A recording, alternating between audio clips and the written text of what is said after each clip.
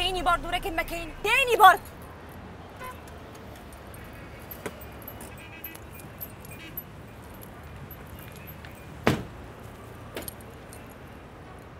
انت يا غبي اللي اسمك عوضين. أنا مش قايل لك 100000 مرة ما حدش يركب مكاني طول ما أنا مش موجودة.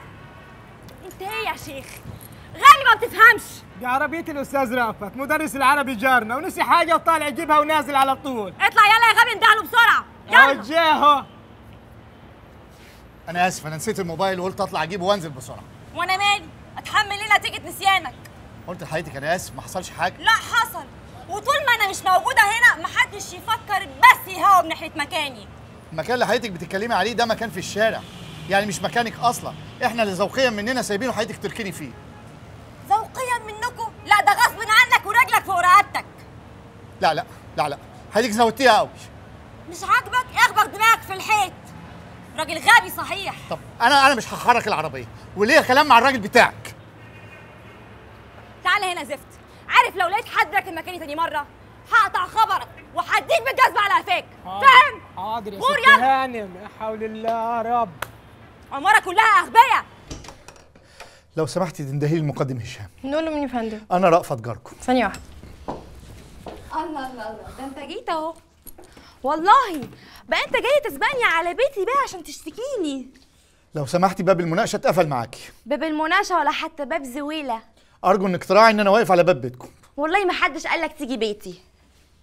إيه ده؟ في إيه؟ مفيش يا حبيبي. اصله راكب مكاني وزعلان إني بعاتبه. هو التهزيل اللي أنا خدته قدام باب البيت قدام الجيران وقدام بنتي الصغيرة وقدام البواب ده عتاب؟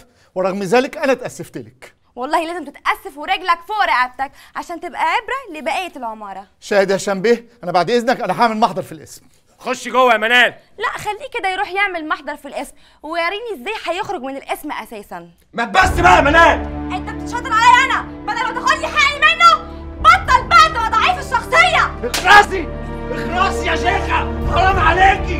انت إيه؟ خش جوه.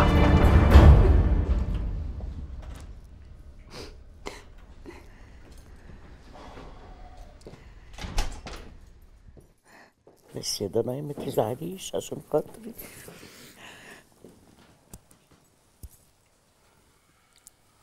أهلا يا عمي. أهلا يا سيف يا ابني. ازيك يا حماتي إن شاء الله تسلم يا ابني. ده جسام.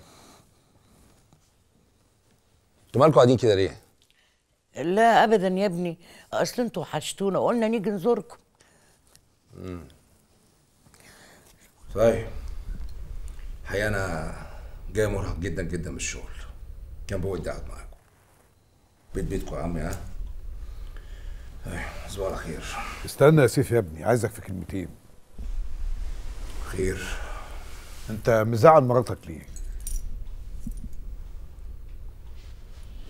هي اشتكت لك؟ الحقيقة ما اشتكتش ولا حاجة بس فضفضت لمامتها.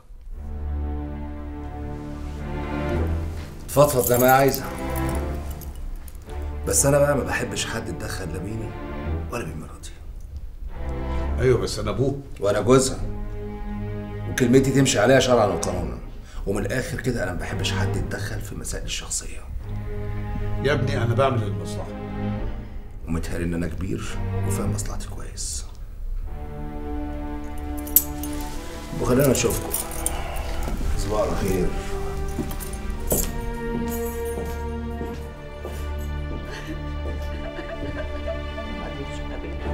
خير باركولي يا رجالة. الله يبارك فيك يا حبيبي على إيه؟ طاهر. إيه هتتجوز ولا إيه يا عم طاهر؟ عم طاهر ده عهد ومضى. من النهارده أستاذ طاهر. أخيرا وافقوا عليا إني أتدرب في جورنال جديد ولو فلحت هيعينوني فيه وأبقى شاعر وصحفي قد الدنيا. ربنا يكرمك يا لو أشوفك شاعر كبير كده زي يحيى المنشاوي. قولوا آمين يا رب. نقول يا آدم مين يحيى المنشاوي اللي أنا هبقى زيه؟ ولا أعرف.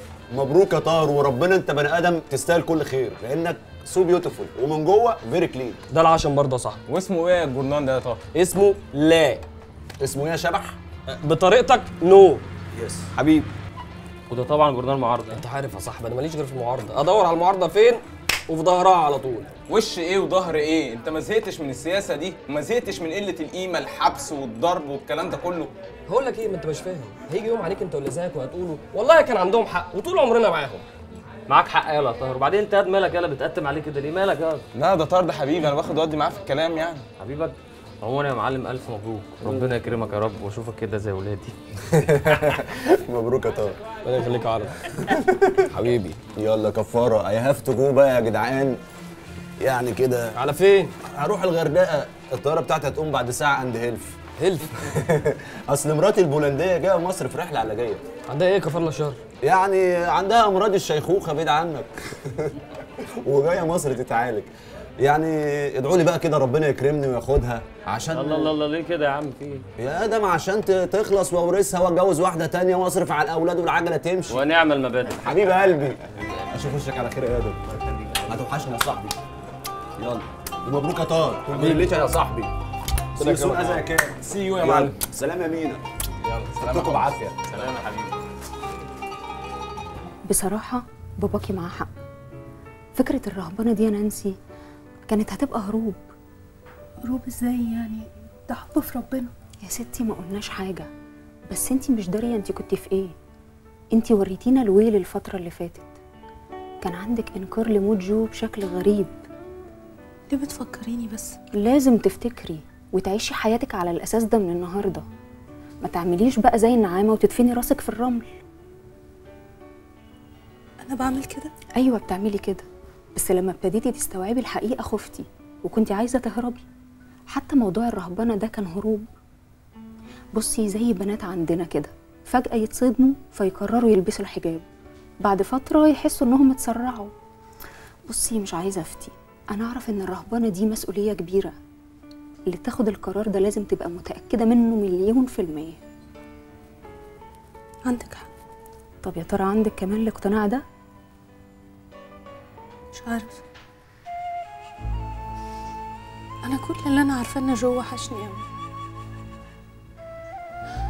وحشني لدرجة إني بجد ساعات بحس إنه عايش.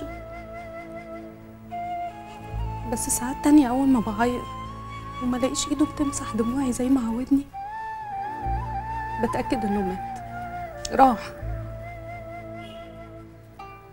بس هيفضل عايش جواي